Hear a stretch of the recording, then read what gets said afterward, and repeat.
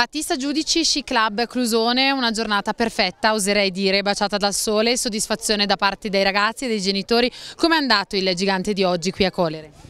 Benissimo, merito ai nostri preparatori e allenatori che hanno preparato una bellissima pista, il tempo ci ha assistito come hai detto te, la giornata è andata bene, l'importante è che non si è fatto male nessuno di cui siamo molto felici, molte presenze, siamo, vediamo proprio un bellissimo ambiente, carichi i ragazzi, i genitori di un bel tifo, sono stati tutti al loro posto, tutti fuori dalle piste che si dice sempre questa nozione da dare ai genitori, un bel comportamento a parte di tutti, sport con spirito sano.